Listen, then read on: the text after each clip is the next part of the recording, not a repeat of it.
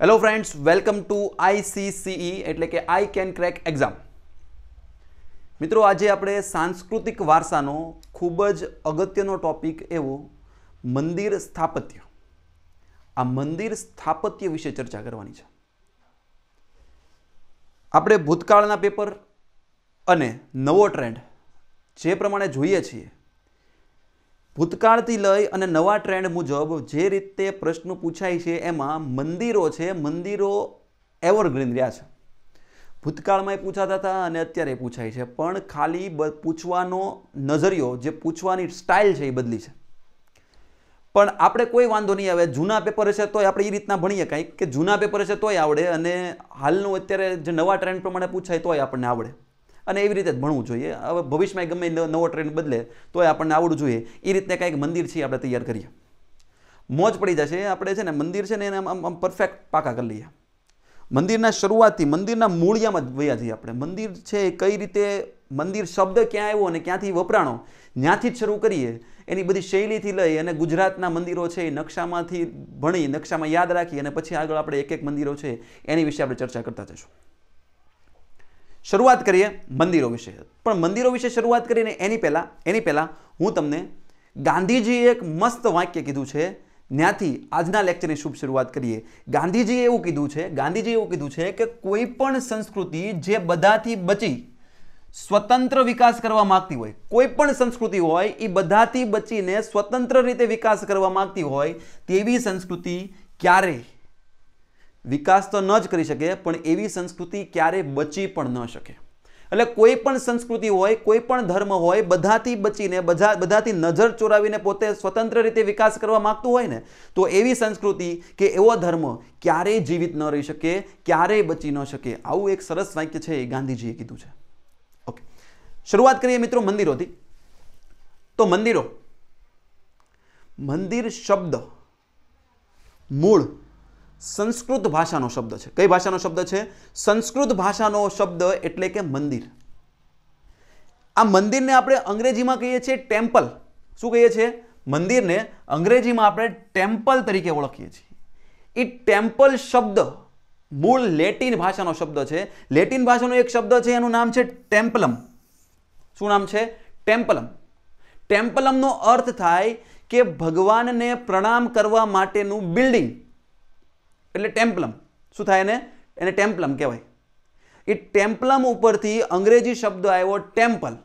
અને આપણે જે શબ્દ છે મંદિર, આ મંદિર મૂળ સંસ્કૃત ભાષાનો શબ્દ છે અને આ મૂળ મંદિર સંસ્કૃત ભાષાનો શબ્દ, મંદિર શબ્દનો સૌ પ્રથમવાર ઉલ્લેખ, મંદિર શબ્દનો સૌ પ્રથમવાર ઉલ્લેખ છે એ શતપથ બ્રાહ્મણની અંદર થયેલો છે. શેમાં થયેલો છે? શતપથ બ્રાહ્મણની અંદર સૌ પ્રથમવાર મંદિરનો ઉલ્લેખ થયેલો છે. શતપથ બ્રાહ્મણમાં સૌ પ્રથમવાર મંદિરનો ઉલ્લેખ થયો છે. આગળ વધીએ, અલગ અલગ દેશમાં, અલગ અલગ રાજ્યમાં, અલગ અલગ ભાષામાં આ મંદિર શબ્દને કંઈક અલગ અલગ નામ આપે છે. તો મંદિર શબ્દને સૌપ્રથમ તમિલની અંદર કોવિલ તરીકે ઓળખવામાં આવે. કયા નામે ઓળખવામાં આવે? કોવિલ તરીકે ઓળખવામાં આવે. કોવિલ. કોવિડ નથી. કોવિડ નથી. શું છે? કોવિલ છે. કોવિડ ઉપરથી યાદ રાખી શકાય. કોવિલ તમિલનાડુમાં કોવિલ તરીકે ઓળખાય. કન્નડની અંદર ગુડી. કન્નડની અંદર કયા નામે ઓળખાય? ગુડી તરીકે ઓળખાય. આ ઉપરાંત કન્નડની અંદર ગુડી ઉપરાંત દેવસ્થાન તરીકે પણ ઓળખવામાં આવે. કયા નામે ઓળખવામાં આવે છે? દેવસ્થાન તરીકે પણ ઓળખવામાં આવે. જો કે આ જનરલ શબ્દ છે, ગમે જગ્યાએ દેવસ્થાન તો કહેવાય છે. ગમે જગ્યાએ દેવસ્થાન તો કહેવાય એટલે મંદિરને તમિલમાં કોવિલ, કન્નડમાં ગુડી અને દેવસ્થાન. તેલુગુની અંદર આલિયમ. તેલુગુની અંદર કયા નામે ઓળખાય છે? આલિયમ તરીકે ઓળખાય છે. મલયાલમની અંદર ક્ષેત્રમ. મલયાલમની અંદર કયા નામે ઓળખાય છે? તો કે મલયાલમની અંદર ક્ષેત્રમ તરીકે ઓળખાય છે. ચીનની અંદર સિમિયાયો. કયા નામે ઓળખાય છે? સિમિયાયો. ચીનની અંદર કયા નામે ઓળખાય? સિમિયાયો. ક્યાં ગયો હતો તો કે સિમિયાયો? મંદિરે ગયો હતો એમ. શું કહેતા છે? સિમિયાયો ગયો હતો એમ. જે કહેતા હોય ટૂંકું સિમી આયો કયા નામે ઓળખાય છે? સિમી આયો તરીકે ઓળખાય છે. શબ્દ યાદ રાખો. તમિલમાં કોવિલ તરીકે કન્નડમાં ગુડી અને દેવસ્થાન તરીકે, તેલુગુમાં આલિયમ તરીકે, મલયાલમમાં ક્ષેત્રમ તરીકે અને ચીન ભાષામાં ચીની ભાષામાં સિમિયાયો તરીકે ઓળખવામાં આવે. કયા નામે ઓળખવામાં આવે છે? સિમિયાયો તરીકે ઓળખવામાં આવે છે. આ આપણે મંદિરની બેઝિક માહિતી મેળવી કે ભાઈ મંદિર છે એમાં મુખ્ય શબ્દ ત્યાં થાય? કે મંદિર શબ્દનો સૌપ્રથમ ઉલ્લેખ. શતપથ બ્રાહ્મણમાં જોવા મળે છે. શેમાં જોવા મળે છે? શતપથ બ્રાહ્મણમાં જોવા મળે છે. એ સૌથી અગત્યનો પોઈન્ટ આની અંદર યાદ રાખવાનું છે. આ ઉપરાંત જે મંદિર છે, આ મંદિરની અલગ અલગ એની પરિભાષાઓ છે. મંદિરના અલગ અલગ શબ્દો છે, પારિભાષિક શબ્દો કહી શકાય ને એ પારિભાષિક શબ્દોથી આપણને ખબર પડે કે મંદિરની ગોઠવણી કઈ રીતની છે. મંદિર કોનું છે? જે દેવી દેવતા છે, એનું વાહન કયું છે? એનું શિખર કયું છે? આ મંદિરની ગોઠવણી ઉપરથી જ ખબર પડે કે આ મંદિર છે એ કઈ જગ્યાએ છે. ઉત્તર ભારતમાં છે, દક્ષિણ ભારતમાં છે કે મધ્ય ભારતમાં છે? આ મંદિરની ગોઠવણી ઉપરથી ખબર પડે છે. તો આ મંદિરની ગોઠવણી માટે જ્યારે આપણે ક્લાસ વન ટુની તૈયારી કરતા હોય ને, જ્યારે આપણે ક્લાસ વન ટુની તૈયારી કરતા હોય ને, ત્યારે તો આ મંદિરની ગોઠવણી બહુ ડિટેલમાં સમજવી પડે. પણ અત્યારે આપણે ક્લાસ થ્રીની તૈયારી કરીએ છીએ એટલે માત્ર ને માત્ર છ પારિભાષિક શબ્દો છે. એ છ એ છ પારિભાષિક શબ્દો પરથી આપણે સમજવાનો પ્રયાસ કરીએ કે મંદિરની ગોઠવણી કઈ રીતે થાય છે. મંદિર અથવા તો મંદિરની ગોઠવણી કઈ રીતે હોય છે. બરાબર? જોઈએ, આ છ શબ્દો કયા કયા? તો આ છ શબ્દો પરથી મંદિરની ખબર પડે ક્લાસ થ્રી લેવલે તો એ છે એક છે પૂજાગૃહ. કયું છે? પૂજાગૃહ. જો હું તમને વન ટુનું પીરસી દઉં, એવું શક્ય ન, એવું ન કરાય. બરાબર? અહીંયા તો હું વન ટુ આ બધા શબ્દો જો આ વન ટુના શબ્દ છે. બરાબર? પણ આ બધે બધા શબ્દો નથી લેવાનો. કારણ કે તમને પહેલી વસ્તુ તો આ વસ્તુ ક્યારે આવવાની નથી ક્લાસ થ્રી લેવલે બિન સચિવાલયમાં આ પ્રશ્ન નથી પૂછવાના. પણ તમને લોકોને મંદિરની જાણકારી હોવી જોઈએ. આપણે એકલું પરીક્ષા પૂરતું જ કરવું એવું નથી. તમને આ ખાલી સાદું નોલેજ તો આવું હોવું જોઈએ મંદિરો વિશે પણ. બરાબર? જે વ્યવહારુ જ્ઞાન આવું હોવું જોઈએ. પૂજાગૃહ. બીજું છે ગર્ભગૃહ. બીજું કયું છે? ગર્ભગૃહ. ત્રીજું છે મંડપ. ચોથું છે શિખર, પાંચમું છે વાહન અને છઠ્ઠું છે ગોપુરમ. છઠ્ઠું કયું છે? ગોપુરમ છે. પૂજાગૃહ, ગર્ભગૃહ, મંડપ, શિખર, વાહન અને ગોપુરમ આ છ શબ્દો એવા છે કે જેનાથી તમે ખબર પડી જાય કે મંદિર ક્યું છે, કોનું છે, ક્યાં છે અને એની ગોઠવણી કઈ રીતની છે. આ બધે બધું આ છ શબ્દો પરથી ખબર પડી જાય. આ છએ છ શબ્દો છે, એ છએ છ શબ્દોને મસ્ત વ્યવસ્થિત ડિટેલમાં જોઈએ, સમજીએ અને પછી આગળ આપણે વધીએ. તો પહેલું આપણે સમજીએ પૂજાગૃહ. તો પહેલી આપણને એ તો ખબર પડી જાય કે પૂજાગૃહ કોને કહેવાય? તો કે પૂજા કરવા માટેનો ખંડ, પૂજા કરવા માટેનું ઘર, પૂજા કરવા માટેનું ગૃહ, જેને પૂજાગૃહ તરીકે ઓળખવામાં આવે. પણ જે પૂજાગૃહ છે, પૂજાગૃહની અંદર એના ત્રણ પ્રકાર પડે છે. કેટલા પ્રકાર પડે છે? ત્રણ પ્રકાર પડે છે. કયા કયા? પહેલો, જો પૂજાગૃહની અંદર પ્રદક્ષિણા પથ ન હોય, જો પૂજાગૃહની આપણે આવી રીતે કોઈ ઓલી હોય મૂર્તિ હોય એના ફરતા ફરતા આપણે પ્રદક્ષિણા કરીએ જ કે નથી કરતા? તો કે કરીએ. જો પ્રદક્ષિણા પથ હોય અને જો પ્રદક્ષિણા પથ ન હોય, આ બે ભાગ છે પૂજાગૃહના. જો પ્રદક્ષિણા પથ હોય, તો એ પૂજાગૃહને સંધર તરીકે ઓળખવામાં આવે. કયા નામે ઓળખવામાં આવે છે? જો પૂજા પ્રદક્ષિણા પથ હોય, તો એને સંધર તરીકે ઓળખવામાં આવે.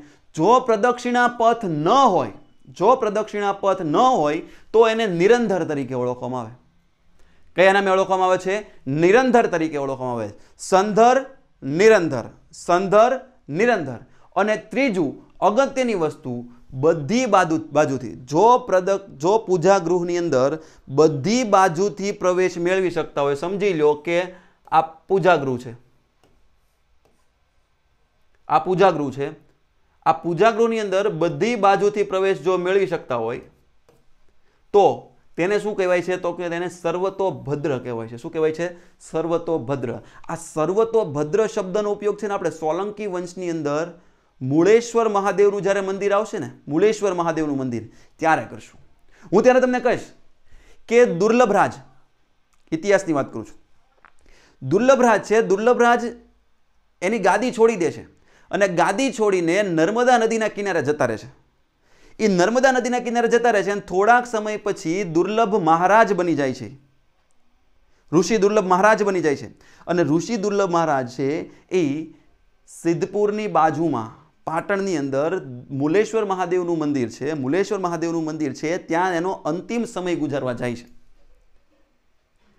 એ સમયે એ સમયે મહમદ ગઝનવીનું આક્રમણ થાય છે અને ત્યારે આપણા રાજા ભાગી જાય છે. ટૂંકમાં એ આખી સ્ટોરી આપણને ખબર છે.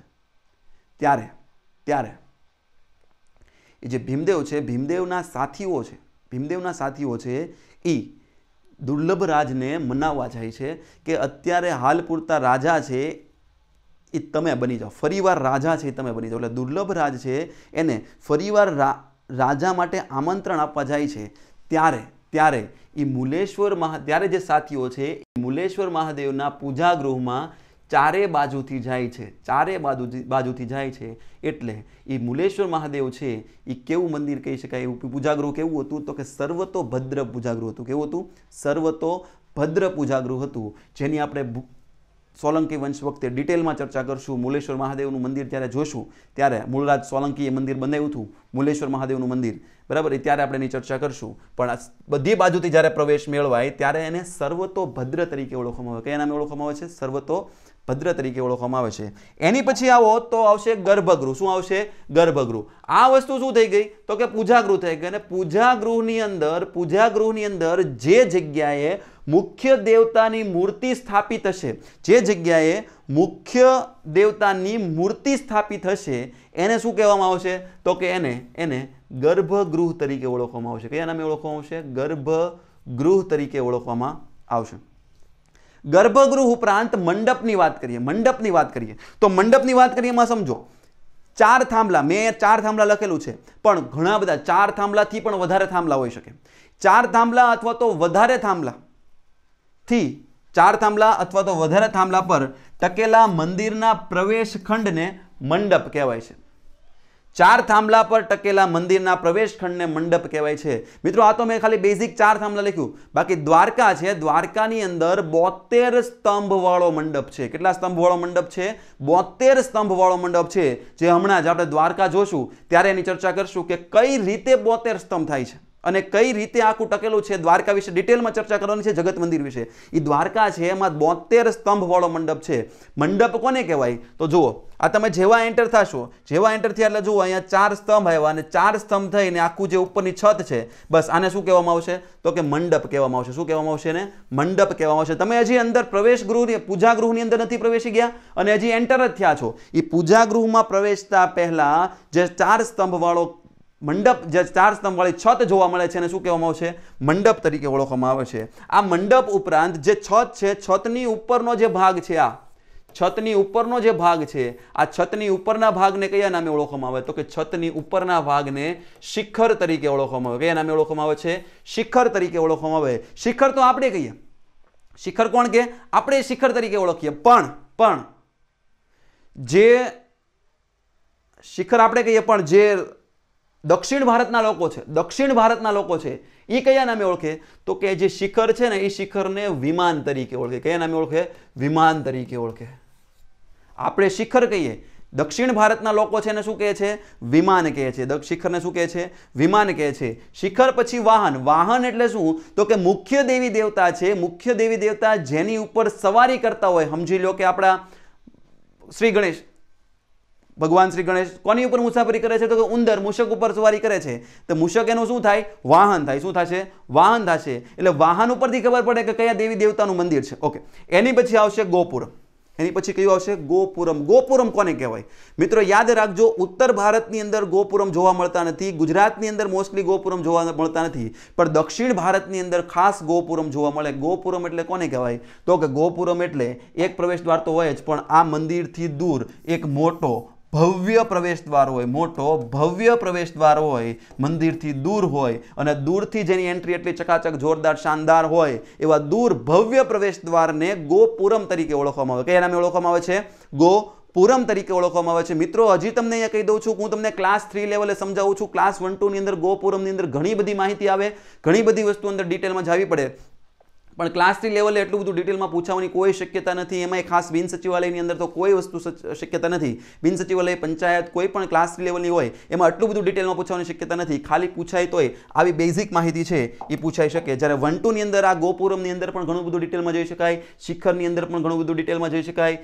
ગર્ભગૃહની અંદર, મંડપની અંદર, આ બધાની અંદર ઘણું બધું ડિટેલમાં જઈ શકાય. આ બધાના અલગ અલગ પ્રકાર પડે છે. અલગ અલગ ભાગ પડે છે. જેને આપણે હાલ પૂરતા નિગ્લેક્ટ કરીએ છીએ, કારણ કે ક્લાસ થ્રી લેવલે એટલું બધું ડિટેલમાં જવું સારું નથી અને એવું એટલું બધું જવાય નહીં. બરાબર? ઓકે આ છ વસ્તુ સમજ્યા. હવે આ છ વસ્તુ સમજ્યા પછી હવે આપણે શૈલીની અંદર પ્રવેશ કરીએ. ફટાફટ થોડી ઘણી પ્રસ્તાવના બાંધી દઈએ કે કેટલી શૈલી છે. તો મિત્રો, ત્રણ શૈલી છે. મંદિરોની કુલ કેટલી શૈલી છે? મુખ્ય ત્રણ શૈલી છે. આ ત્રણ શૈલી કઈ કઈ તો કે એક શૈલી છે એનું નામ છે નાગર શૈલી. કઈ શૈલી છે? નાગર શૈલી. આ જે શૈલી દેખાય છે ને તમને, આ જે ટાઈપની ડિઝાઇન દેખાય છે ને, એને નાગર શૈલી કહેવાય. બીજી શૈલી છે દ્રવિડ શૈલી. જુઓ. મોટો પ્રવેશ દ્વાર હોય, વચ્ચે અહીંયા પણ પ્રવેશ દ્વાર હોય, અને પછી મંદિર, અને પછી મંદિર. એટલે ભવ્ય પ્રવેશ દ્વારની સાથે એક મંદિર હોય. એ શૈલી કઈ છે? દ્રવિડ શૈલી. અને નાગર શૈલી અને દ્રવિડ શૈલીના મિશ્રણને, નાગર શૈલી અને દ્રવિડ શૈલીના મિશ્રણને કઈ શૈલી કહેવાય? તો કે નાગર શૈલી અને દ્રવિડ શૈલીના મિશ્રણને બેસર શૈલી કહેવાય. કઈ શૈલી કહેવાય છે? બેસર શૈલી તરીકે ઓળખવામાં આવે. એટલે આવું હોય અને આવું હોય, અથવા તો આ બંનેનું મિશ્રણ હોય. એને શું કહેવામાં આવે છે? બેસર શૈલી તરીકે ઓળખવામાં આવે છે. ફટાફટ થોડીક અમથી નાની અમથી માહિતી છે. એ નાગર શૈલીની જોઈ લઈએ કે ભાઈ નાગર શૈલી કોને કહેવાય? દ્રવિડ શૈલી કોને કહેવાય અને બેસર શૈલી કોને કહેવાય? પણ એની પહેલાં હું તમને આ નકશા દ્વારા એ સમજાવી દઉં કે નાગર શૈલી ક્યાં હોય, દ્રવિડ શૈલી ક્યાં હોય અને બેસર શૈલી ક્યાં હોય. જોજો. મિત્રો, આપણને ખબર છે કે અહીંયા આ રીતે કંઈક હિમાલય આવેલો છે.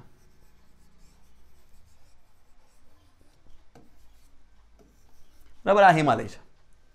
અને એ પણ ખબર હોવી જોઈએ કે અહીંયા આ રીતે વિદ્યાંચલ પર્વતમાળા છે. આ છે એ હિમાલય છે. અને આ જે પર્વતમાળા છે એને કઈ કહેવાય છે? વિદ્યાંચલ. કઈ પર્વતમાળા કહેવાય છે? વિદ્યાંચલ પર્વતમાળા. હિમાલયથી વિદ્યાંચલની વચ્ચેનો ભાગ છે.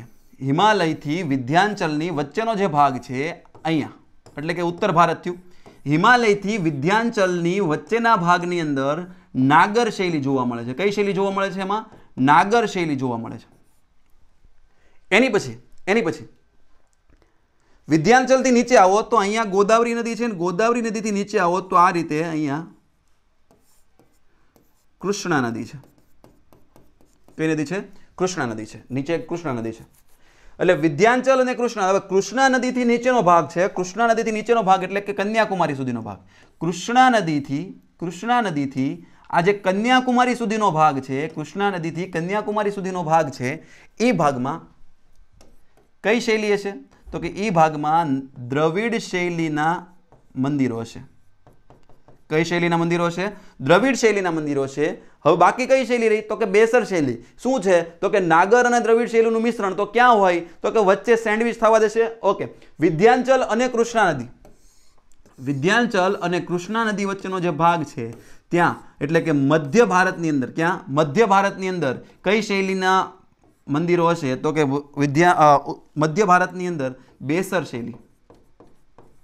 કઈ શૈલીના મંદિરો છે બેસર શૈલીના મંદિરો છે એ છે. ઉત્તર ભારતની અંદર નાગર શૈલી, મધ્ય ભારતની અંદર બેસર શૈલી અને દક્ષિણ ભારતની અંદર દ્રવિડ શૈલી હોય. ઉત્તર, મધ્ય, દક્ષિણ ખબર હોવી જોઈએ, ખ્યાલ આવી જવો જોઈએ. ઉત્તરની અંદર નાગર શૈલી, મધ્યની અંદર બેસર શૈલી અને દક્ષિણની અંદર દ્રવિડ શૈલી હશે. ક્લિયર હવે આપણે એક એક શૈલી વિશે, આ ત્રણ ત્રણ શૈલી વિશે થોડી ઘણી માહિતી મેળવીએ. ફટાફટ, ગુજરાતના નકશા તરફ જઈએ. જો નાગર શૈલી છે. નાગર શૈલીમાં શું યાદ રાખવાનું? તો પહેલી તો ખબર જ છે કે નાગર શૈલી છે એ ઉત્તર ભારતની અંદર જોવા મળે છે. ક્યાંથી ક્યાં સુધી? તો કે હિમાલયથી વિધ્યાંચલ સુધી. હવે, આ નાગર શૈલીનું બાંધકામ કઈ રીતે થયું હોય? તો મિત્રો, યાદ રાખજો ખાસ. નાગર શૈલીનું જે બાંધકામ છે ને નાગર શૈલીનું બાંધકામ નાગર શૈલીનું બાંધકામ છે એ આપણે કેમ મકાન બાંધતા હોઈએ? મકાન બાંધીએ ત્યારે પાયો ગાળીએ પાયો ગાળીને એક પ્લિન્થ ઊભી કરીએ, અથવા તો ચબૂતરો આપણે એને કહીએ, બરાબર? પ્લિન્થ અથવા તો ચબૂતરો. પ્લિન્થ અથવા ચબૂતરો ઊભો કરીને એની પર આપણે મકાન બનાવીએ બસ સેમ ટુ સેમ વસ્તુ થઈ. અહીંયા નાગર શૈલીની અંદર પણ એક પ્લિન્થ બનાવવામાં આવે, એક ચબૂતરો બનાવવામાં આવે. જો અહીંયા એક મકાન, અહીંયા એક મંદિર છે એ બના, દેખાય છે આપણને. જુઓ. આ જે દેખાય છે ને આખી જો આ ભાગ. આ ભાગ શું છે? આ ભાગ છે, આખો પ્લિન્થ છે. શું છે? પ્લિન્થ છે. અને પ્લિન્થની ઉપર પ્લિન્થની ઉપર છે એ મંદિર બનાવવામાં આવે. પ્લિન્થની ઉપર મંદિર બનાવવામાં આવે. સ્વામિનારાયણ મંદિર છે ને મોસ્ટલી બધા સ્વામિનારાયણ મંદિર તમે જોઈ લેજો. એક સરખી પેટર્ન હોય, એક સરખી ડિઝાઇન હોય. નીચે પ્લિન્થ હોય, ઉપર મંદિર હોય. નીચે પ્લિન્થ હોય, ઉપર મંદિર હોય. મોસ્ટલી બધા વિઝિટ કરી દેશે, તમે જોઈ શકો છો. અત્યારે યાદ આવી ગયું છે. તમે દાદરા ચડીની પ્લિન્થ ઉપર ચડો પ્લિન્થ ઉપર એ મંદિર હશે. પ્લિન્થ ઉપર મંદિર છે બસ. એ જ એ કોનું ઉદાહરણ છે? તો કે નાગર શૈલીનું ઉદાહરણ છે. કોનું ઉદાહરણ છે એ નાગર શૈલીનું ઉદાહરણ છે. આ ઉપરાંત ઉપર જે મંદિરનું ટોચ છે, મંદિરનું જે શિખર છે એ મંદિરનો શિખરનો આકાર કેવો હશે નાગર શૈલીની અંદર? તો કે મંદિરના શિખરનો આકાર છે એ ગુંબદ આકાર છે. કયો આકાર છે ગુંબદ આકાર છે કયો આકાર છે આ જે આકાર છે એને ગુંબદ આકાર કહેવાય. કયો આકાર કહેવાય છે? ગુંબદ આકારનું શિખર છે એ જોવા મળે છે. આ ઉપરાંત ત્યાં પ્રદક્ષિણા પથ પણ હશે. શું હશે? પ્રદક્ષિણા પથ પણ જોવા મળશે. નાગર શૈલીની અંદર મોસ્ટલી પદ પ્રદક્ષિણા પથ છે એ જોવા મળે. અને આની વિશેષતા એ છે કે આ પ્રદક્ષિણા પથ છે ને, એ પ્રદક્ષિણા પથની ઉપર છત હશે. પ્રદક્ષિણા પથની ઉપર છત છે એ હશે. ફરજિયાત છત હશે. અને ફરજિયાત છત હોય તો કયું કયું મંદિર કહેવાય એની? નાગર શૈલી કહેવાય. શું કહેવાય છે? નાગર શૈલી કહેવાય છે. મિત્રો, નાગર શૈલીની અંદર ઘણી બધી અલગ અલગ શૈલી જોવા મળે છે. એ શૈલીમાંથી એક અગત્યની શૈલી મારે તમને કહેવી હોય, તો એ શૈલી છે એનું નામ છે પંચાયતન શૈલી. કઈ શૈલી છે? પંચાયતન શૈલી.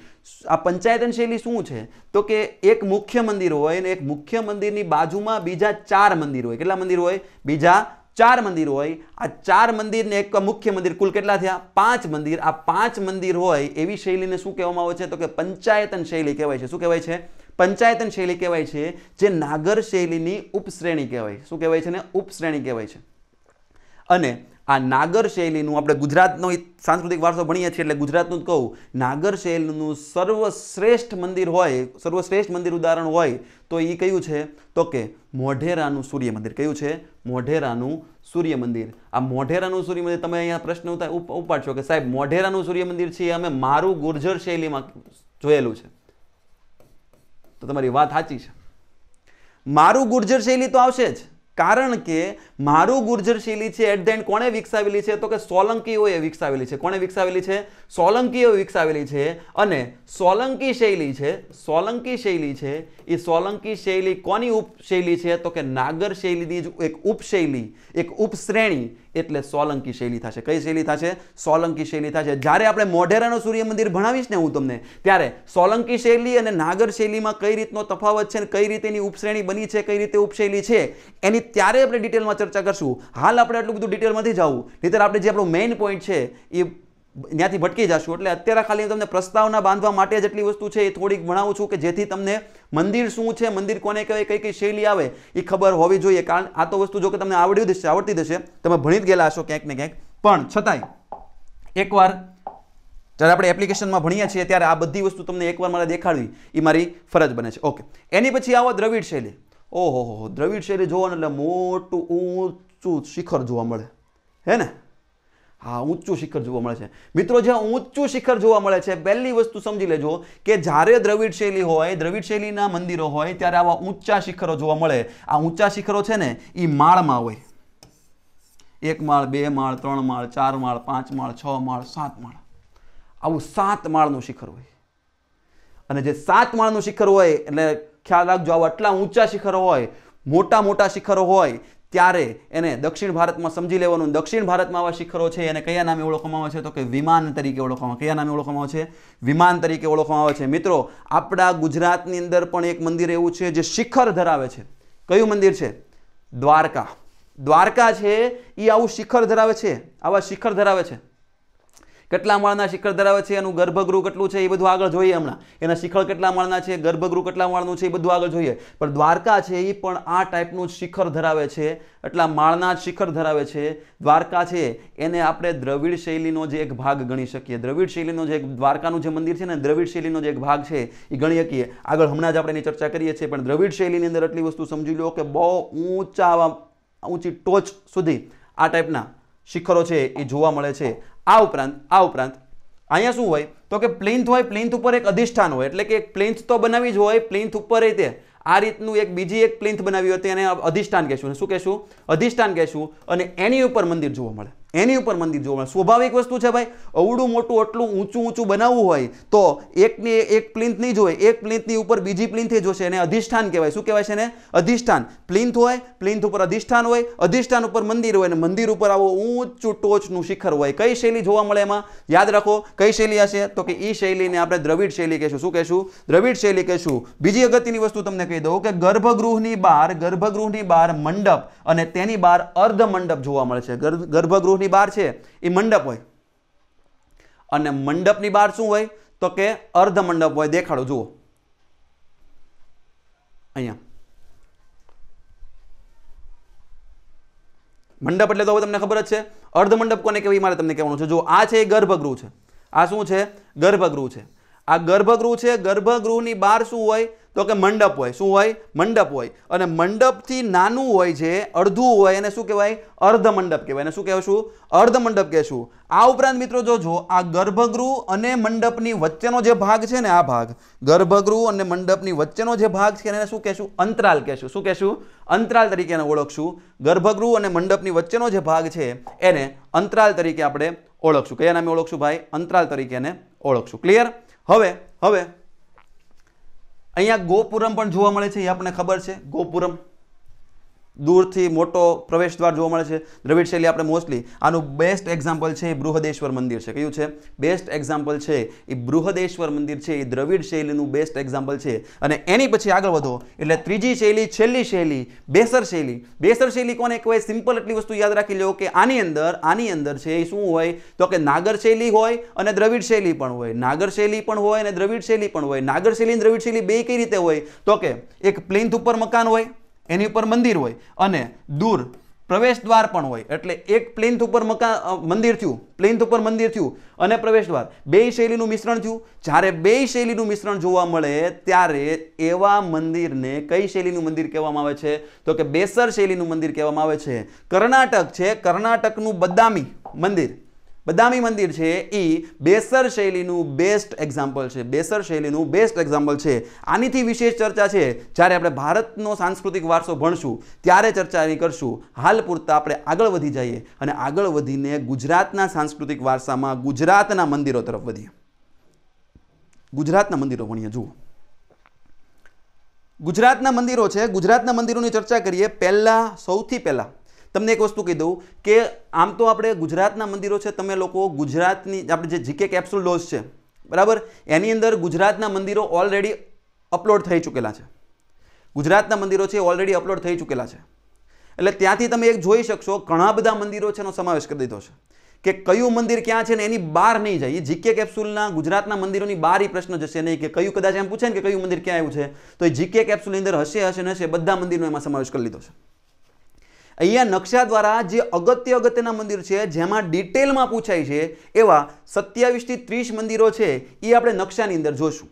અને એ જ મંદિરોની ચર્ચા ડિટેલમાં આપણે આગળ આગળ જઈને કરશું. બરાબર છે? તો શરૂઆત કરીએ શરૂઆત કરીએ નકશા દ્વારા મંદિરો શીખવાની. પહેલાં આપણે બધા મંદિરો છે, એની ચર્ચા કરી લઈએ અને એની પછી આગળ જઈ એક એક પહેલાં મંદિરો ક્યાં ક્યાં આવે એની ચર્ચા કરી લઈએ અને પછી આગળ જઈ અને એક એક મંદિરો વિશે ચર્ચા કરીએ આ મંદિરોને આપણે ત્રણ ભાગની અંદર વિભાજિત કરી દઈએ. કેટલા ભાગની અંદર? ત્રણ. કચ્છના મંદિર, સૌરાષ્ટ્રના મંદિર અને તળ ગુજરાતના મંદિર. કચ્છ, સૌરાષ્ટ્ર અને તળ ગુજરાત. કચ્છ, સૌરાષ્ટ્ર અને તળ ગુજરાત. આ રીતે ત્રણ ભાગની અંદર વિભાજિત કરી દો. તો કચ્છના જે મંદિરો છે, કચ્છના મંદિરોની અંદર એક મુખ્ય મંદિર યાદ રાખવાનું છે તમારે. મુખ્ય મંદિર એક યાદ રાખવાનું છે. એ મંદિર છે લખપત તાલુકામાં આવેલું માતાનો મઠ કયો છે? માતાનો મઠ કચ્છમાં માતાનો મઠ ખ્યાલ છે ને? આશાપુરા માતાજીનું મંદિર, માતાનો મઢ. અઢારસો ઓગણીસમાં જે ભૂકંપ આવ્યો હતો, અલ્લાહ બંધવાળો ભૂકંપ આવ્યો હતો, એમાં હાવ તૂટી ફૂટી ગયું હતું ફરીવાર આનો જીર્ણોદ્ધાર થયો અને ફરીવાર જે બેઠો થયું અને ફરીવાર આખા ગુજરાતમાં પ્રખ્યાત થયું માતાનો મઢ. આ જ માતાના મઢની આજુબાજુ મંગળ ગ્રહ જેવા ખડકો મળી આવે છે. જેની બધી ચર્ચા છે, આપણે માતાના મઢ વખતે ડિટેલમાં કરશું. માતાનો મઢ છે કઈ જગ્યાએ આવેલો છે? કચ્છમાં આવેલો છે. મિત્રો, આ કચ્છમાં આ ઉપરાંત પાંચ જૈન તીર્થ આવેલા છે જે બહુ પ્રખ્યાત છે. પાંચ જૈન તીર્થ છે. કેટલા જૈન તીર્થ છે? પાંચ જૈન તીર્થ છે. કયા કયા? તો કે એક જૈન તીર્થ છે એનું નામ છે કોઠારા. બીજું છે એનું નામ છે સુથરી. ત્રીજું છે એનું નામ છે તેરા. ચોથું છે એનું નામ છે નલિયા. અને પાંચમું છે એનું નામ છે જખો.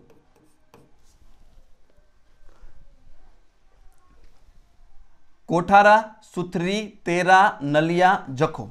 કોઠારા, સુથરી, તેરા, નલિયા અને જખો. આ રીતે પાંચ જૈન તીર્થ આવેલા છે. પ્રશ્ન પૂછાઈ ગયેલો છે કે નીચેનામાંથી કયું કચ્છના પાંચ જૈન તીર્થમાં સમાવેશ થતો નથી? બરાબર? તો એમાં જવાબ છે એ તમે તમારી રીતે જોઈ લેજો. આ પાંચ જૈન તીર્થ આવશે. કોઠારા, સુથરી, તેરા, નલિયા અને ચખો આ માતાનો મઢ. આ કચ્છના મુખ્ય મંદિરો છે અહીંયા પૂર્ણ થયા. હવે આગળ સૌરાષ્ટ્રમાં વધીએ. સૌરાષ્ટ્રમાં જેવા એન્ટર થાય ને એટલે એન્ટર થઈ જઈએ પહેલાં મોરબીની અંદર. ક્યાં થઈ જઈએ? મોરબીની અંદર. મોરબીની અંદર એન્ટર થાવ એટલે મોરબીની અંદર એક મંદિર આવશે. એ મંદિરનું નામ છે મણિ મંદિર. કયું મંદિર છે? આ મણિ મંદિર. આ જે મણિ મંદિર છે, એ મણિ મંદિરનો સંબંધ અહીંયા સુરેન્દ્રનગર ચૂડામાંય છે અને ભાવનગર પાલિતાણામાંય છે. આ મણિ મંદિરને ફરજિયાત કોઈ કે વાઘ મંદિર કહેવાની ફરજ પાડી હતી. આ મણિ મંદિરને તાજમહેલ તરીકે પણ ઓળખવામાં આવે. પણ જેણે બનાવ્યું હતું એ માણસ મૃત્યુ પામી ગયો અને પછી ફરીવાર કોકે મણિ મંદિર પૂર્ણ કર્યું. કોણે પૂર્ણ કર્યું? એ હાટું થોડીક વેઇટ કરો. હમણાં જ આપણે શીખવાનું છે. મણિ મંદિરથી આગળ વધો. મણિ મંદિરથી આગળ વધો, મોરબીથી આગળ વધો એટલે જામનગરમાં પહોંચશો. જામનગરમાં ખીજડાના બે વૃક્ષ પરથી એક મંદિર બન્યું છે ખીજડા મંદિર. કયું છે? ખીજડા મંદિર. આ ખીજડા મંદિરની સાથે આખે આખો સંપ્રદાય જોડાયેલો છે. અને ખીજડાનું મંદિર એટલે લીધેલું છે કારણ કે સરકાર દ્વારા બહાર પડતું જે સામાયિક છે, એ સામાયિક, સાંસ્કૃતિક વારસાનું સામાયિક છે, એ સામાયિકની અંદર આ ખીજડા મંદિરનો સમાવેશ કરેલો છે. એટલે જ ખાસ લીધેલું છે. છેલ્લે બિન સચિવાલયની એક્ઝામ હતી ને, એની પહેલાં જે સામાયિક હતું ને, એની અંદર, એમાં ડાકોર વિશે આખો ઉલ્લેખ આપ્યો હતો. એ સામાયિક છે એમાં દર સાંસ્કૃતિક વારસાનું આખે આખું. આખે આખું. દરેકે દરેક સાંસ્કૃતિક વારસાના ટોપિક આવે છે. એમાં એક એક બધું સાહિત્યકારો હોય તો થોડાક, મંદિરો હોય તો થોડાક, બરાબર? એટલે એક એક એક દર વખતે એક એક મંદિર લે છે અને આ વખતે એમ મંદિર લીધેલું છે ખીજડાનું મંદિર. એ મંદિર તમારે સામાયિક ટેન્શન નથી લેવાનું કારણ કે એ વસ્તુ તમને મટીરિયલમાં એપ્લિકેશન યુઝર છે એ લોકોને મટીરિયલમાં મળી જવાની છે. એટલે એ લોકોને ક્યાંય ચિંતા કરવાની નથી આખે આખું સામાયિક છે એને આપણે લઈ લઈશું તો આપણે એને તમને આપી દઈશું ઓકે ખીજડા મંદિર આવશે. ખીજડા મંદિરથી આગળ વધો તો જામનગરની અંદર એક બીજું મંદિર આવશે એનું નામ છે ગોપ મંદિર. કયું મંદિર છે? ગોપ મંદિર. ગોપ મંદિર. ખબર છે આપણને? સૌથી જૂનું અને હાલ હયાત હોય એવું પથ્થરનું મંદિર એટલે ગોપ મંદિર. સૌથી જૂનું અને હાલ હયાત હોય એવું પથ્થરનું મંદિર એટલે ગોપ મંદિર. આ ઉપરાંત દેવભૂમિ દ્વારકાની અંદર એક મુખ્ય મંદિર છે. જગત મંદિર. જેને આપણે કહીએ છીએ એવું આપણું દ્વારકા મંદિર. આ ઉપરાંત અહીંયા એક બેટ છે, વાસુદેવ બેટ. આ ઉપરાંત અહીંયા એક બ્રિજ આવેલો છે, સુદામા બ્રિજ. અહીંયા એક મંદિર છે, સ્વરૂપ નારાયણનું મંદિર.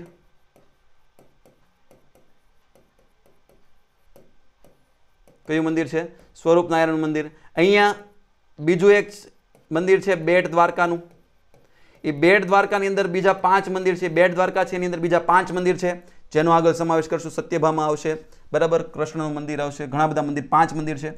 આ ઉપરાંત અહીંયા દ્વારકાની અંદર હજી એક મંદિર છે, ગોમતી મંદિર. કયું મંદિર આવશે? ગોમતી મંદિર આવશે. ત્યાંથી આગળ વધી જાઓ, એટલે પોરબંદરમાં જાશો. પોરબંદરની અંદર એક મંદિર આવેલું છે જે મુખ્ય મંદિર છે એનું નામ છે સુદામા. હવે અહીંયા કીર્તિ મંદિર મારે તમને કહેવાની જરૂર નથી પોરબંદરમાં કીર્તિ મંદિર, બરાબર? કારણ કે બીજા સ્થાપત્ય કલાની અંદર એનો સમાવેશ કરશું. કારણ કે પ્રોપર મંદિર કરતાં એ ગાંધીજીના સ્મારક માટે બનાવેલું છે. આ તો સુદામાનું આખા ભારતમાં સુદામાનું એકમાત્ર મંદિર પોરબંદર ખાતે આવેલું છે. અને આ સુદામા મંદિર છે ત્યાં દર વર્ષે દર વર્ષે અન્નકૂટ ભરાય છે. દર વર્ષે બેસતા વર્ષના દિવસે અન્નકૂટ ભરાતું હોય. એવું મંદિર કયું? એન્જિનિયરિંગની એક એક્ઝામમાં ગોણસેવાળે પૂછી લીધું હતું સુદામા મંદિર. કયું આવશે? સુદામા મંદિર આવશે. આગળ વધો, આગળ વધીને જશું જુનાગઢ. જુનાગઢ છે. જુનાગઢની અંદર જુઓ, આવશે કનકાઈ.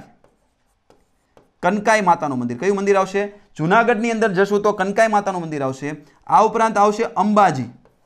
તમે કહેશો સાહેબ, અંબાજી અહીંયા આવશે? હા, અંબાજી અહીંયા આવશે અને સામાયિકની અંદર ખાસ અંબાજીનો, જુનાગઢ અંબાજીનો સમાવેશ કરેલો છે. જે આગળ ભણશું, આગળના લેક્ચરમાં ભણશું. આજના લેક્ચરમાં બધો સમાવેશ નહીં થઈ શકે. જેટલો સમાવેશ થશે એ પણ આ કનકાઈ અંબાજી સુધી તો નહીં જ લગભગ પહોંચી શકીએ. આ ઉપરાંત સત્તાધાર. એને પણ ભણી લેશું. ગીર સોમનાથ પોખશું ગીર સોમનાથની અંદર જે તુલસી શ્યામ છે એને શ્યામ સુંદર મંદિર તરીકે ઓળખવામાં આવે છે. કયા નામે ઓળખવામાં આવે છે? શ્યામ સુંદર મંદિર તરીકે ઓળખવામાં આવે છે. આ ઉપરાંત પ્રોપર પોતે સોમનાથ તો છે જ. પ્રોપર પોતે સોમનાથ તો છે જ. ઓકે એની આગળ વધીએ. આગળ વધતા જશું અમરેલી. અમરેલીમાં ધારી ખાતે એક મંદિર આવેલું છે ગળધરા ખોડિયાર. આનો ઇતિહાસ બહુ રસપ્રદ છે. આની સ્ટોરી પણ બહુ રસ, રસપ્રદ છે. જ્યાં ધરો છે, એ ધરા ઉપરથી આખી સ્ટોરી બનેલી છે. એ મંદિર છે એ ગળધરા ખોડિયારનું મંદિર છે ત્યાં માનતા પણ ઘણી માનવામાં આવે છે. એના ઉપરથી પ્રશ્ન છે ભવિષ્યમાં પૂછાઈ શકે. ઓકે ભાવનગરની અંદર પોગો, એટલે ભાવનગરની અંદર ભાવનગરની અંદર એક તો આવશે પાલીતાણા. પાલિતાણા જૈન તીર્થ, બરાબર? નાગાર્જુન છે, એ સંકળાયેલા છે, પાદલિપ્તપુર છે શું કામ કહેવાય છે? એના ગુરુના નામ ઉપરથી ગુરુ પાદલિપ્ત ઉપરથી પાદલિપ્તપુર તરીકે ઓળખાય છે. આ ઉપરાંત પાલિતાણાનો જે આખે આખો ઇતિહાસ છે, અઢારસો સાહીઠમાં પ્રવેશ દ્વાર બન્યો અને કઈ રીતે બન્યો, એ આખી ચર્ચા છે, ત્યારે આપણે કરશું પાલિતાણા વખતે. પાલિતાણા ઉપરાંત, પાલિતાણાની બાજુમાં એક આવેલું છે બગદાણા, બગડ નદીના કિનારે, બજરંગદાસ બાપા. આ ઉપરાંત ગોપનાથ, નરસિંહ મહેતાની કૃષ્ણલીલા. ગોપનાથ, મેળો પણ ભરાય ભરાય છે અમાસ પાલિતાણા બગદાણા ગોપનાથ તળાજાના તળાજામાં બૌદ્ધ ધર્મની ગુફાઓ છે, એ આવેલી છે. એટલે પાલિતાણાનું મંદિર છે, પાલિતાણાનું મંદિર છે, બગદાણા છે, ગોપનાથ છે, તળાજા છે. ઓકે મોસ્ટલી બધા આવી ગયા છે પાલી, ભાવનગરની અંદર. એકાદું કદાચ કંઈ બાકી રહેતું હશે તો આગળ ડિસ્ક્રિપ્શનની અંદર આવી જશે. ઓકે બોટાદ છે, બોટાદની અંદર જુઓ, સાળંગપુર. બોટાદની અંદર કયો છે? સાળંગપુર. યસ આની અંદર રાજપરાનો ખોડિયાર, રાજપરા ખોડિયાર. જ્યાં તાતણીય ધરો છે, ગમે એવો દુકાળ પડે તો આ તાતણીયા ધરામાંથી પાણી ખૂટે નહીં. એ રાજપરાનો ખોડિયાર મંદિર. ઓકે. બોટાદની અંદર સાળંગપુર અને સ્વામિનારાયણ મંદિર. અને સ્વામિનારાયણ મંદિર છે આવેલું છે. ત્યાંથી આગળ વધી જાવ રાજકોટ. રાજકોટની અંદર એક આવશે વીરપુર. જલારામ બાપાનું મંદિર છે એ વીરપુર ખાતે જલારામ બાપાનું મંદિર. આ ઉપરાંત આ ઉપરાંત કાગવડ, ખોડલધામ કાગવડ, ખોડલધામ અને એક જે મંદિર છે એ બાલા હનુમાન કહેવાય છે. ને શું કહેવાય છે? બાલા હનુમાન કહેવાય છે. અહીંયા વીરવાળા અને ગાંધીજીની સ્ટોરી છે સંકળાયેલી છે. ગાંધીજી છે સ્પેશિયલ બાલા હનુમાન ખાતે, ગાંધીજીને બાલા હનુમાન મંદિર ખાતે કેદ કરવામાં આવ્યા હતા, જે બહુ વીરવાળા એને કેદ કર્યા હતા, એ બહુ બહુ મસ્ત ઇન્ટરેસ્ટિંગ સ્ટોરી છે. જ્યારે બાલા હનુમાન જોશું ત્યારે જોશું એને. આગળ જોઈએ સુરેન્દ્રનગર. સુરેન્દ્રનગરની અંદર આપણું એક મુખ્ય છે ચોટીલા. જ્વાળામુખીમાંથી બનેલું ગુજરાતનું બીજા નંબરનું સૌથી ઊંચું શિખરને જ્યાં ચામુંડામાનું મંદિર છે એવા ચોટીલા જ્યાં ઝવેરચંદ મેઘાણીની જન્મભૂમિ છે એવું ચોટીલા. આ ચોટીલાથી બાજુમાં આવો, ચોટીલાની બાજુમાં આવો તો જ્યાં તરણેતરનો મેળો ભરાય છે એવું ત્રિનેત્રેશ્વર. ત્રિનેત્રેશ્વર મહાદેવનું મંદિર છે ત્યાં આવેલું. શું આવેલું છે? ત્રિનેત્રેશ્વર મહાદેવનું મંદિર છે ત્યાં આવેલું છે. ઉપર જાઓ એટલે પાટણ જશું. પાટણની અંદર એક આવેલું મહાદેવનું મંદિર છે મૂળેશ્વર મહાદેવ. મૂળ, મૂળરાજ સોલંકીએ બંધાવેલું છે મૂળેશ્વર મહાદેવ. આ ઉપરાંત રુદ્ર મહાલય આવેલો છે ત્યાં. ગુજરાતનું એકમાત્ર દશાવતાર મંદિર પાટણની અંદર આવેલું છે. દશાવતાર મંદિર છે એ પણ ક્યાં આવેલું છે? તો કે પાટણની અંદર આવેલું છે. ઉપર જતા રહ્યો બનાસકાંઠા. બનાસકાંઠાની અંદર એક સ્થળ છે, જેનું એક મંદિર છે, જે બહુ પ્રખ્યાત છે. ગુજરાતની સૌથી મોટી શક્તિપીઠ છે, જેનો શક્તિપીઠની અંદર સમાવેશ કરી શકાય એવું. અંબાજી. નીચે આવો મહેસાણા. મહેસાણાની અંદર ગુજરાતની બીજી શક્તિપીઠ એટલે કે બહુચરાજી. આ ઉપરાંત એઠોર. આઠસો વર્ષ જૂનું ગણપતિ મંદિર છે એઠોર અને મોઢેરાનું સૂર્ય મંદિર. અને મોઢેરાનું સૂર્ય મંદિર. જે મહેસાણામાં યાદ રાખવા લાયક ખરું. ઉપર જાઓ સાબરકાંઠા, તો સાબરકાંઠામાં જે પોશીનો પટ્ટો છે, આ પોશીના પટ્ટામાં જૈન દેરાસર અને શિવલિંગ જે આવેલા છે, એ બહુ ખાસ પ્રખ્યાત છે. અરવલ્લીમાં આવી જાઓ. અરવલ્લીમાં આવી જાઓ એટલે આવશે શામળાજી. કયું મંદિર આવશે? શામળાજી મંદિર આવશે. આ ઉપરાંત, શામળાજી ઉપરાંત અહીંયા ગોપનાથ ગોપનાથ મહાદેવનું મંદિર છે. આ ઉપરાંત, અહીંયા એક ભીડભંજન હનુમાન મંદિર છે. ભીડભંજનનું ભીડભંજન હનુમાન મંદિર છે, ત્યાં આવેલું છે. નીચે આવો, નીચે આવતા ખેડામાં ક્યાં જશું ભાઈ? ખેડામાં જવાનું છે. ખેડામાં ખેડા કરતા પહેલા દાહોદ જતા રહીએ. દાહોદની અંદર આવશે બાવકા. કયું છે? બાવકાનું શિવ મંદિર આવશે. બાજુમાં પંચમહાલ આવી જાઓ. પંચમહાલની અંદર આવશે પાવાગઢ. એક આવશે પાવાગઢ અને એક આવશે ઝંડ હનુમાન. કેવા હનુમાનજી છે? ઝંડ હનુમાનજી છે. હનુમાનજી ઉપર ખાસ એટલે કારણ કે નીચે છેલ્લા ત્રણ સામાયિક છે, એની અંદરથી હનુમાનજીનું ખાસ ઉલ્લેખ છે, એની અંદર જોવા મળે છે.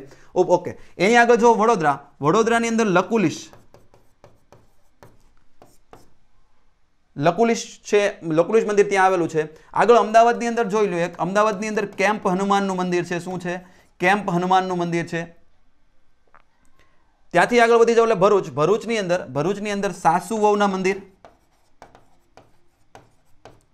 ભરૂચની અંદર શું આવેલું છે? તો કે સાસુ વહુના મંદિર છે, આવેલા છે. સુરતની અંદર જાઓ તો સુરતની અંદર કાલ ભૈરવનું મંદિર આવેલું છે. જેની વિશે બહુ ડિટેલમાં આપણે ચર્ચા કરવાની છે.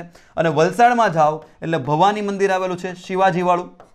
શિવાજીએ જ્યારે જ્યારે આક્રમણ સુરત પર કર્યું, ત્યારે ભવાની મંદિર ખાતે એણે રાતવાસો કર્યો હતો. કઈ ટેકરી પર આવેલું છે પારનેરાની ટેકરી પર આવેલું છે. જો મિત્રો, આટલા મંદિર છે એટલા મંદિર વિશે આપણે ડિટેલમાં ચર્ચા કરવાની છે. લગભગ તો મોસ્ટલી બધા મંદિર આવી ગયા છે, પણ આ નકશા દ્વારા તમારે મંદિર છે જોવાનો એક લાહવો મળી રહે. ફટાફટ એકવાર જોઈ લઈએ. કચ્છની અંદર માતાનો મઢ આવેલો છે. આ ઉપરાંત સુથરી તેરા નલિયા કઠા, કોઠારા સુથરી તેરા નલિયા જખો બધા મંદિર આવેલા છે. આ ઉપરાંત નીચે આવો તો મોરબીમાં મણિ મંદિર છે, જામનગરની અંદર ખીજડા મંદિર છે, જામનગરની અંદર ગોપ મંદિર છે દેવભૂમિ દ્વારકાની અંદર જગત મંદિર છે, પોરબંદરની અંદર સુદામા મંદિર છે, જુનાગઢની અંદર કનકાય અંબાજી સત્તાધાર છે, ગીર સોમનાથની અંદર શ્યામ સુંદર સોમનાથ આવેલું છે. અમરેલીની અંદર ગળદરા રાખોડિયાર આવેલું છે.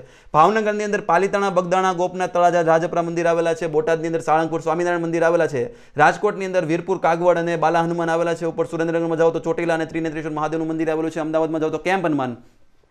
મહેસાણામાં જાઓ તો મોઢેરા, એઠોર અને બોચરાજી આવેલું છે, પાટણની અંદર મૂળેશ્વર મહાદેવનું મંદિર આવેલું છે. રુદ્રમહાલય આવેલું છે. દશાવતાર મંદિર આવેલું છે. બનાસકાંઠાની અંદર જાઓ તો અંબાજી આવેલું છે. સાબરકાંઠાની અંદર પોશીના પટ્ટામાં જૈન દેરાસર અને શિવલિંગ આવેલા છે. અરવલ્લીની અંદર શામળાજી, ગોપનાથ અને ભીડભંજન હનુમાન આવેલા છે, પંચમહાલની અંદર પાવાગઢ આવેલું છે, પંચમહાલની અંદર ઝંડ હનુમાન આવેલું છે, દાહોદની અંદર બાવકાશી મંદિર આવેલું છે, વડોદરાની અંદર લકોલીશ આવેલું છે. ભરૂચની અંદર સાસુઓના મંદિર આવેલા છે, જે બહુ પ્રખ્યાત છે, ખબર છે આપણે વારાઘડે ભરૂચનો તાલુકો ઇવન પૂછાઈ ગયો છે આની અંદર સાસુઓના મંદિર. લેવો જ પડે. સુરતની અંદર કાલ કાલ ભૈરવ આવેલું છે અને વલસાડ છે, વલસાડની અંદર ગુજરાતનું સૌથી દક્ષિણતમ વલસાડ છે, ત્યાં એક મંદિર આવેલું છે, જેનું નામ છે ભવાની મંદિર. શું નામ છે? એનું નામ છે ભવાની મંદિર નામ છે, ક્લિયર? તો હવે આપણે આગળ કચ્છ તરફ વધીએ. ક્યાં જવું ક્યાં જવાનું છે? આગળ આપણે કચ્છ તરફ જોઈએ. તો કચ્છમાં માતાનો મઠ માતાના મઠથી શરૂઆત કરીએ.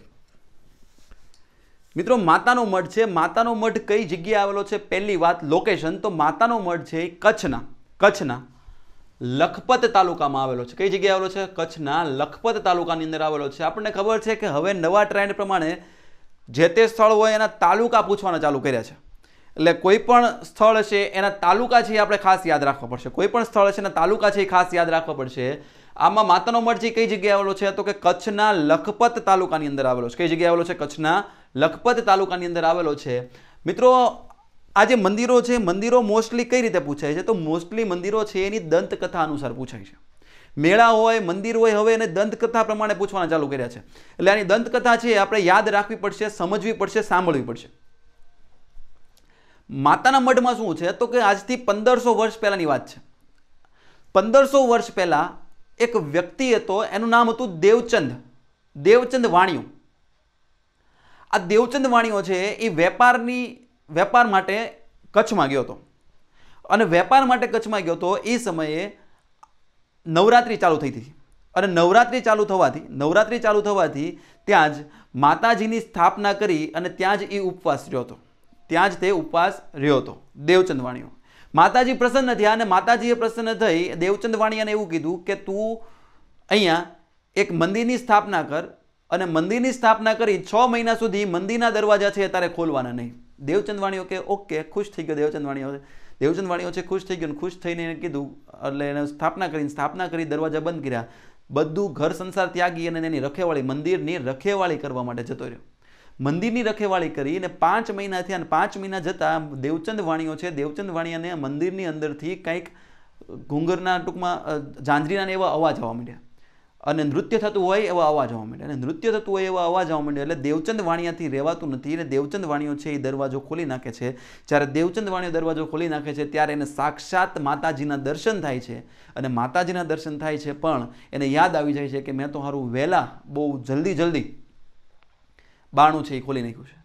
અને જલ્દી બાણું ખોલી નાખ્યું છે એટલે ત્યાં અર્ધ અર્ધમૂર્તિ જ સ્થાપિત થઈ છે. એટલે જ ત્યાં અર્ધમૂર્તિ સ્થાપિત થઈ છે. દેવચંદ વાણીઓ છે, માતાજી પાસે ક્ષમા માગે છે અને માતાજીને ક્ષમા આપે છે. પણ એમ કહે છે કે અર્ધમૂર્તિ થઈ છે એટલે કે હાલમાં જે મૂર્તિ છે એ છ ફૂટ બાય છ ફૂટની છે. છ બાય છ ફૂટની બહુ મોટી મૂર્તિ છે, પણ અર્ધમૂર્તિ એટલે કે માતાજીના ગોઠણ સુધી જ મૂર્તિ છે એ સ્થાપિત થયેલી છે. એટલે માતાજીના ગોઠણ સુધીની જ મૂર્તિ કઈ જગ્યાએ જોવા મળે જોવામાં આવે છે? તો માતાના મઢ ખાતે જોવા મળે, આવે છે. એની પછીનો સમય આવે છે ને અઢારસો ઓગણીસ આવે છે. આ અઢારસો ઓગણીસ જ્યારે આવે છે, ત્યારે અઢારસો ઓગણીસમાં ખૂબ જ મોટી તીવ્રતાનો કચ્છની અંદર ભૂકંપ આવે છે. અને મોટી તીવ્રતાનો ભૂકંપ આવે છે એટલે આખું મંદિર છે એ મંદિર ખંડિત થઈ જાય છે. જે આખું તમને મંદિર દેખાય છે, એ આખે આખું મંદિર છે એ ખંડિત થઈ જાય છે. અને મંદિર મંદિર ખંડિત થઈ જાય છે પણ કંઈ ચિંતાની જરૂર નથી. કારણ કે મંદિર ફરીવાર સ્થાપિત કરવાનું બીડું છે. એ બે વ્યક્તિ ઝડપે છે નામ છે શિવજી અને વલ્ભાજી.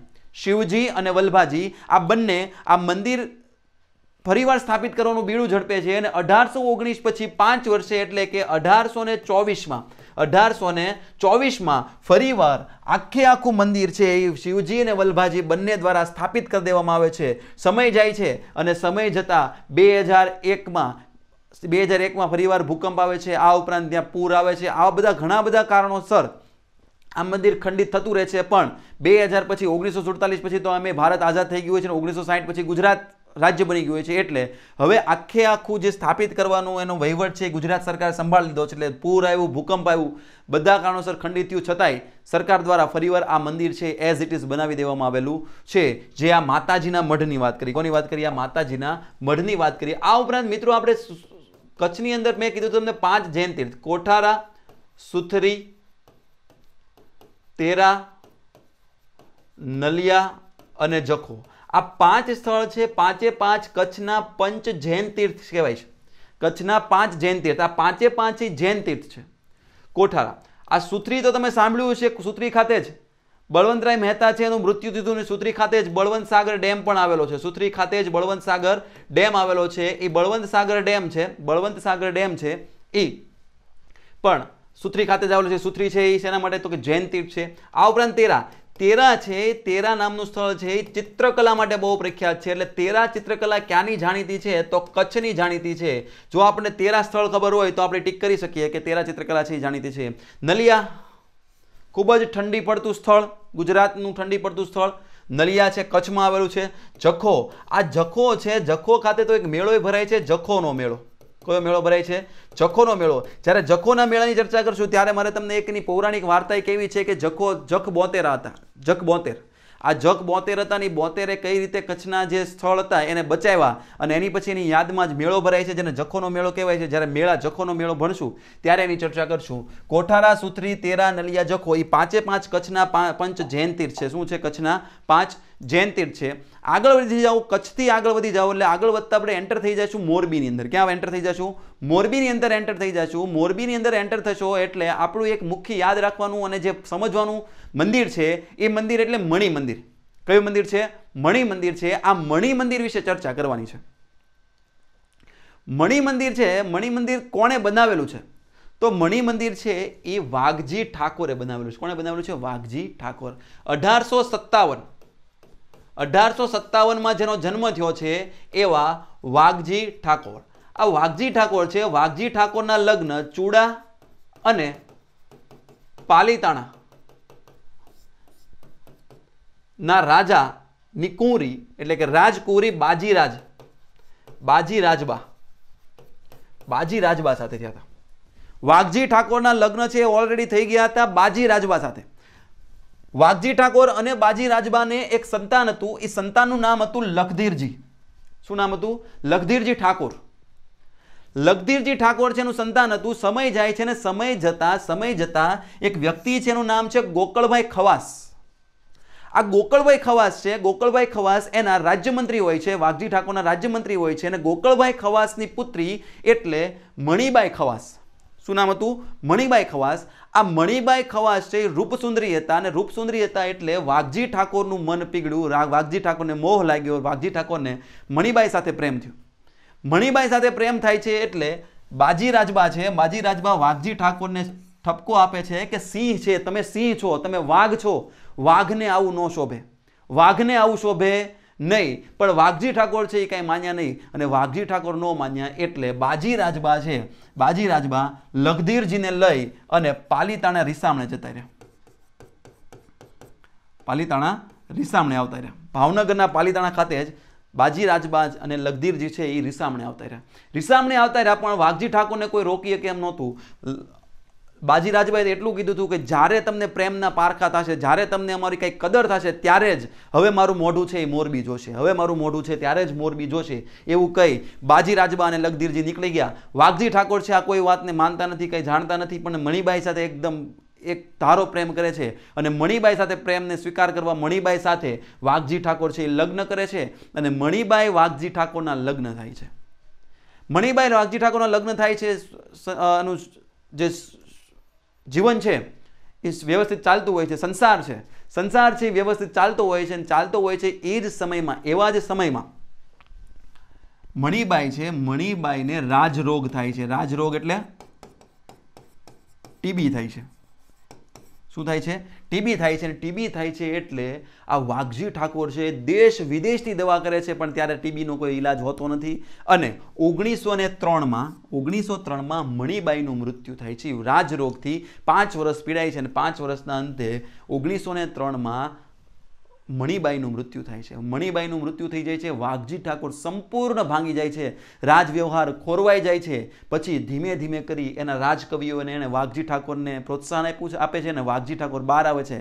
જેવા વાઘજી ઠાકોર આ શોકમાંથી બહાર આવે છે એટલે પહેલું મોરબીની અંદર મણિ મણિબાઈના નામે એક સ્મશાન બંધાવે છે, એક મકબરો બંધાવે છે. આ ઉપરાંત આ ઉપરાંત ત્યાં થોડો સમય જાય છે, સમય જતાં એ કહે છે કે, ભાઈ, વાઘજી ઠાકોર કહે કે, મારે મારી પત્નીની યાદમાં કંઈક મંદિર બંધાવવું છે. અને પત્નીની યાદમાં મંદિર બંધાવવું છે એટલે એણે મણિ મંદિર શું બંધાવવાનું ચાલુ કર્યું? મણિ મંદિર છે એ મણિ મંદિર મણિબાઈના નામથી મણિ મંદિર બંધાવવાનું ચાલુ કરે છે. મણિ મંદિર બંધાવે છે, પણ ખૂબ જ મોટું, ખૂબ જ મોટું સ્વપ્ન હોય છે, મોટું મંદિર બંધાવવાની ઈચ્છા હોય છે. મોટું મંદિર બંધાવવાનું બંધાવવામાં ઓગણીસો ને બાવીસમાં વાઘજી ઠાકોર છે એ પણ અર્ધ મંદિર બન્યું હોય છે, ત્યાં જ મૃત્યુ પામે છે. હવે મંદિર બને જે બન્યું હોય છે એટલે મૃત્યુ પામે છે. મંદિર બનતા અડધા મંદિરે મૃત્યુ પામે છે. અને મૃત્યુ પામે છે ત્યારે પાલીતાણાથી લગધીરજી અને બાજી રાજબા છે એ ત્યારે પાછા આવે છે. મોરબી પાછા આવે છે અને મોરબી પાછા આવે છે. અને એના મતભેદ છે, સ્વાભાવિક વસ્તુ છે, સ્મશાનની સાથે મતભેદ પણ ભૂલી જાય છે. અને સ્મશાનની સાથે મતભેદ ભૂલતા લગધીરજી છે, એ લગધીરજી ફરીવાર જે આખું મંદિર છે, એ મંદિરમાં બે લાખ રૂપિયાનો વધારે ખર્ચ કરે છે. અને બે લાખ રૂપિયાનો ખર્ચ કરી આખું મંદિર છે એ પૂર્ણ કરે છે. અને પૂર્ણ કરી આ મંદિરને વાઘજી ઠાકોરના નામે વાઘ મંદિર એવું નામ લગધીરજી આપે છે.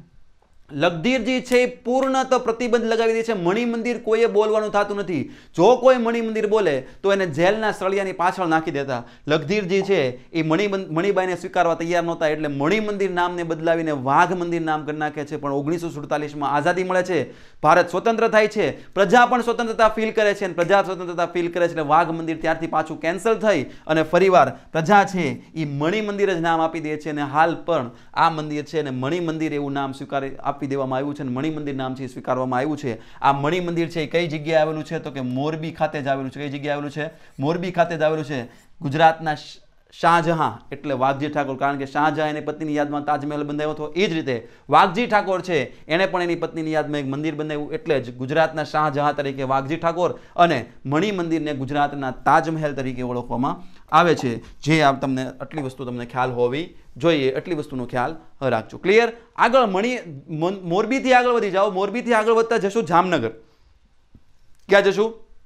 જામનગર, જામનગરમાં જામનગરમાં એક મંદિર છે, એ મંદિરનું નામ છે ખીજડા મંદિર. કયું મંદિર છે? ખીજડા મંદિર છે. ખીજડા મંદિર છે, એ જામનગરમાં આવેલું છે. મિત્રો, યાદ રાખજો, આ ખીજડા મંદિર છે. ખીજડા મંદિર એ નિજાનંદ સંપ્રદાયનું મંદિર છે. કયા સંપ્રદાયનું મંદિર છે? નિજાનંદ સંપ્રદાયનું મંદિર છે. પ્રશ્ન પૂછી લે કે નિજાનંદ સંપ્રદાયનું મંદિર, નિજાનંદ સંપ્રદાયનું મંદિર ગુજરાતમાં કઈ જગ્યાએ આવેલું છે? તો જામનગરમાં આવેલું છે. કયું મંદિર છે? તો ખીજડા મંદિર છે. આ નિજાનંદ સંપ્રદાય એટલે શું? તો કે ભગવાન શ્રી કૃષ્ણના વિચારો અને કબીરના વિચારો. બંનેના વિચારોનું સમન્વય કરી અને એક સંપ્રદાય સ્થાપવામાં આવ્યો છે, જેને નિજાનંદ સંપ્રદાય કહેવામાં આવે છે. ભારતભરમાં આઠસોથી વધુ નિજાનંદ સંપ્રદાયના મંદિર છે. અને એમાંનું એક મંદિર એટલે જામનગરની અંદર આવેલું ખીજડા મંદિર. આ નિજાનંદ સંપ્રદાય છે. નિજાનંદ સંપ્રદાયના સ્થાપક કોણ છે? તો દેવચંદ્ર મહારાજ છે. અને દેવચંદ્ર મહારાજ છે. દેવચંદ્ર મહારાજના ગુરુ કોણ હતા? તો કે ગુરુ કાનજી ભટ્ટ હતા. અને દેવચંદ્ર મહારાજના પ્રથમ શિષ્ય કોણ? તો ગગજીભાઈ ઠક્કર. કોણ આવશે? ગગજીભાઈ ઠક્કર. એ દેવચંદ્ર મહારાજના પ્રથમ શિષ્ય હતા. મિત્રો, યાદ રાખજો, આ દેવચંદ્ર મહારાજ છે એ જામનગરમાં એક જગ્યાએ તપમાં લીન હતા અને તપમાં લીન હતા એ સમયે સવારમાં આ ફરીવાર જ્યારે જાગે છે ત્યારે ઉઠી અને દેવચંદ્ર મહારાજ છે એ દાંતણ કરીને દાંતણની બે ચીર છે, અલગ અલગ જગ્યાએ ફેંકે છે અને એ જ ચીરમાંથી મોટા મોટા ખીજડાના વૃક્ષ થાય છે. ખીજડાનું દાંતણ છે એ દાંતણની બે ચીર કરી અને ફેંકી દે છે અને એમાંથી જ ખીજડાના વૃક્ષ થાય છે. અને દેવચંદ્ર મહારાજ દ્વારા જે ખીજડાના, ખીજડાની છાલ ફેંકવામાં આવી હોવાથી, ચીર ફેંકવામાં આવી હોવાથી એના વૃક્ષ બની જાય છે અને એના વૃક્ષ બન્યા હોવાથી જ આ જે આખું મંદિર બને છે એને ખીજડા મંદિર તરીકે ઓળખવામાં આવે છે. કયા નામે ઓળખવામાં આવે છે? ખીજડા મંદિર તરીકે ઓળખવામાં આવે છે. મિત્રો, બહુ સિમ્પલ છે. આવી નાની નાની વસ્તુ છે, પણ એક્ઝામમાં પૂછાય ત્યારે આપણને ભૂકા નીકળી જાય છે. એટલે આવી નાની નાની વસ્તુ છે થોડું થોડું થોડું કલેક્શન કરી અને યાદ રાખવાનો પ્રયાસ કરજો. યાદ રહી જશે, વાંધો નહીં આવે. એની પછી આગળ વધો તો જામનગરની અંદર જ એક બીજું મંદિર છે, જેનું નામ છે ગોપ મંદિર. કયું મંદિર છે? ગોપ મંદિર. ગોપ મંદિરમાં યાદ રાખવાનું છે, ગુજરાતનું સૌથી જૂનું અને હાલ હયાત હોય એવું પથ્થરનું મંદિર. ગુજરાતનું સૌથી જૂનું અને હાલ હયાત હોય એવું પથ્થરનું મંદિર એટલે ગોપ મંદિર. ગોપ મંદિર કઈ જગ્યાએ આવેલું છે? એક્ઝેક્ટ લોકેશન કે તો જિલ્લો જામનગર, તાલુકો જામજોધપુર અને ગામ છે ઝીણાવારી. શું નામ ગામ છે? ઝીણાવારી. હવે આની સાથે કથા એવી કંઈક જોડાયેલી છે. આ દંત કથા છે, આપણે સાંભળવાની છે. આની સાથે કદાચ પ્રશ્ન પૂછાય તો આપણે ટીક કરી નાખવાનું. આમાં બીજો કોઈ ઓબ્જેક્શન ઉપાડવાનો નહીં. આ ખાલી કથા છે, એટલે આપણે કથા સ્વરૂપે યાદ રાખવાનું, પરીક્ષા પૂરતું જ આપણે યાદ રાખવાનું. જો આની દંતકથા શું કહે છે આ? કે એક રાક્ષસ હતો જામજોધપુરની અંદર, ઝીણાવરી ગામમાં એક રાક્ષસ હતો અને રાક્ષસ છે એ ત્યાં એક ગુફા હતી. એ ગુફાની અંદર આ રાક્ષસે સોળ હજાર કન્યાને પૂરી રાખી હતી અને એ જે સોળ હજાર કન્યા છે, એ સોળ હજાર કન્યાને ભગવાન શ્રી કૃષ્ણએ છોડાવી અને ભગવાન શ્રી કૃષ્ણએ છોડાવી, ત્યારે કન્યાઓ એવું કહે છે કે હવે આ મંદિર, આ રાક્ષસે અમને બંદી બનાવી લીધી હતી એટલે હવે અમારી સમાજમાં કંઈ આબરૂ રહી નહીં. એટલે ભગવાન શ્રી કૃષ્ણ છે એ આને છોડાવી અને એ સોળે સોળ હજારને એની પટરાણી બનાવે છે. એટલે જ કહેવાય છે ને ભગવાન શ્રી કૃષ્ણને સોળ હજારથી વધુ પટરાણી. બસ એ જ જે પટરાણીવાળી સ્ટોરી છે, આ ગોપ મંદિર સાથે સંકળાયેલી છે, એટલે ભગવાન શ્રી કૃષ્ણને ત્યાં સોળ હજાર કન્યા સાથે લગ્ન કરે છે એની પટરાણી બનાવે છે અને એ મંદિર છે એ મંદિર એટલે જ ગોપ મંદિર. કયું મંદિર આવશે? એ મંદિર એટલે જ ગોપ મંદિર. અને અત્યારે પણ ત્યાં અહીંયા ગુફાઓ છે આવેલી છે ને એવું કહેવાય છે ગુફાઓની અંદર જ આ સોળે સોળ હજાર કન્યાઓને સંતાડવામાં આવી હતી. જે ગોપ મંદિર છે, જિલ્લો જામનગર, તાલુકો જામજોધપુર અને ગામ કયું આવશે? તો કે ગામ છે ઝીણાવરી ગામ આવશે. કયું ગામ આવશે? ઝીણાવરી ગામ છે એ આવશે. ત્યાંથી આગળ વધો એટલે આજના લેક્ચરનું છેલ્લું મંદિર અને આજના લેક્ચરનું છેલ્લું મંદિર એટલે દ્વારકા. કયું મંદિર આવશે? દ્વારકા છે. એવું કહેવામાં આવે છે કે ભગવા, જ્યારે ભગવાન શ્રી કૃષ્ણ છે, ભગવાન શ્રી કૃષ્ણ જ્યારે રણછોડ રણ છોડીને આવે છે અને રણ છોડીને આવે છે ત્યારે ભગવાન શ્રી કૃષ્ણને સમુદ્ર પાસે માંગ કરે છે કે મારે એક નગરી બનાવવી છે એટલે નગરી બનાવવા માટે મને માર્ગ આપો. ભગવાન સમુદ્ર છે એને માર્ગ આપે છે અને માર્ગ આપે છે ત્યારે વિશ્વકર્મા છે એક નગરી બનાવી દે છે સમુદ્રની અંદર. સમુદ્રની અંદર નગરી બનાવી દે છે એને જ દ્વારકા તરીકે ઓળખવામાં આવે છે. દ્વારકા, દ્વાર, દ્વારિકા, દ્વારાવતી, નિજ મંદિર. કયું મંદિર? નિજ મંદિર. જગત મંદિર તરીકે જે મંદિર ઓળખાય છે, એ જ દ્વારકા. અને સમય જતાં એવું કહેવામાં આવે છે કે દ્વારકાને ઘણી બધી વાર, ઘણી બધી વાર દ્વારકા તૂટ્યું, એની ઉપર આક્રમણ થયા, ઘણી બધી વાર બન્યું. અને આ એવું કહેવામાં આવે છે કે સાત વખત દ્વારકા મંદિર બન્યું છે. કેટલી વખત દ્વારકા મંદિર બન્યું છે? સાત વખત દ્વારકા મંદિર છે, એ બન્યું છે. છેલ્લી વખતની વાત છે જે છેલ્લી વાર, જે ભગવાન શ્રી કૃષ્ણ છે, ભગવાન શ્રી કૃષ્ણના પ્રપોત્ર એવા ઈસવીસન પૂર્વે ચૌદસોની અંદર વ્રજનાભ છે. વ્રજનાભ દ્વારા એક છત્રી એક છત્રીની સ્થાપના થઈ હતી અને છત્રીની સ્થાપના થયા બાદ ક્રમશઃ એ મંદિર છે, ધીમે ધીમે બનતું ગયું અને ઈસવીસન આઠસોની અંદર જગતગુરુ શંકરાચાર્ય છે, એ શંકરાચાર્યએ ત્યાં શારદા મઠ બનાવ્યો અને શારદા મઠની સાથે સાથે જ આ જે મંદિર છે, એ મંદિરનો ફરીવાર જીર્ણોદ્ધાર કર્યો છે. હવે જીર્ણોદ્ધાર કર્યો છે, પણ અહીંયા તુર્કોનું આક્રમણ અહીંયા જે દ્વારકા મંદિર છે, દ્વારકા ખાતે તુર્કોનું આક્રમણ બહુ બહુ બધું થતું. અને બહુ બધું તુર્કોનું આક્રમણ થતું એટલે શું થયું? તો ત્યાં જે ભગવાન શ્રી કૃષ્ણની જે ઓરિજિનલ મૂર્તિ હતી, એ મૂર્તિને દ્વારકા ખાતે આવેલી એક વાવ, જેનું નામ છે સાવિત્રી વાવ, એ સાવિત્રી વાવની અંદર સંતાડી દેવામાં આવે છે. સાવિત્રી વાવની અંદર સંતાડી અને ત્યાં રૂકમણીની મૂર્તિ મૂકી દેવામાં આવે છે. બરાબર? આ રૂકમણીની મૂર્તિ મૂકી દેવામાં આવે છે. સમય જાય છે અને સમય જતાં પંદરસો એકાવનની અંદર તુર્કોનું આક્રમણ થાય છે અને તુર્કોનું આક્રમણ થાય છે એટલે રૂકમણીની મૂર્તિ છે એને નાશ કરી દેવાય છે અને નાશ કરી દેતા પંદરસો એકાવન પછી ભગવાન શ્રી કૃષ્ણની જે ઓરિજિનલ મૂર્તિ છે એ ઓરિજિનલ મૂર્તિ જ આ દ્વારકા મંદિરની અંદર મૂકવામાં આવે છે. આ દ્વારકા મંદિરની અંદર ભગવાન શ્રી કૃષ્ણની ઓરિજિનલ મૂર્તિ તો મૂકી દેવામાં આવે છે, પણ આ ભગવાન શ્રી કૃષ્ણની જે આ મંદિર છે એની પર સતત આક્રમણ છે ચાલુ રહે છે.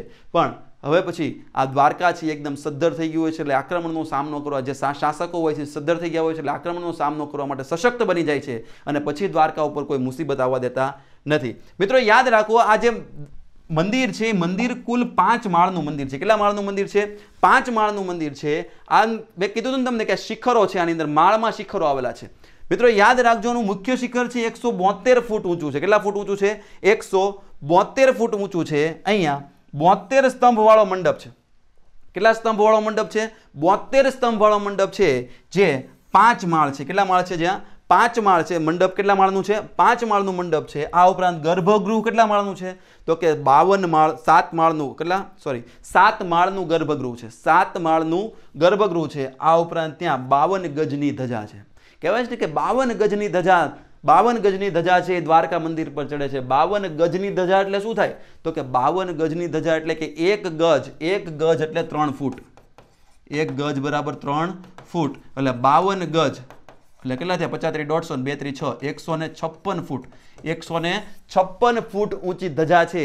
એ ત્યાં લહેરાય છે. એટલે બાવન ગજની ધજા ત્યાં લહેરાય છે. પ્રશ્ન ત્યાં થાય કે બાવન શું લખ્યું છે? બાવન ગજ શું કામ કીધું છે? કારણ કે એવું કહેવાય છે કે ભગવાન શ્રી કૃષ્ણના વંશજ થઈને બાવન રાજાઓ યાદવોમાં હતા. બાવન રાજા યાદવોની અંદર હતા. એટલે બાવન રાજાની યાદમાં, બધા રાજાની યાદમાં એક એક ગજ, એટલે કે બાવન ગજની ધજા છે એ ચડાવવામાં આવે છે. મિત્રો, યાદ રાખજો, આ દ્વારકા ખાતે ત્રણ વખત ધજા બદલાવવામાં આવે છે. દિવસમાં ત્રણ વખત ધજા છે એ દ્વારકા ખાતે બદલાવવામાં આવે છે. મિત્રો એટલી વસ્તુ તમને ક્લિયર થવી જોઈએ એટલી વસ્તુ તમને આવડવી જોઈએ. આ દ્વારકા ઉપરાંત, દ્વારકાની સાથે સાથે પણ અલગ અલગ અન્ય પવિત્ર સ્થળ છે. કયા કયા? એક છે ગોમતી દ્વારકા.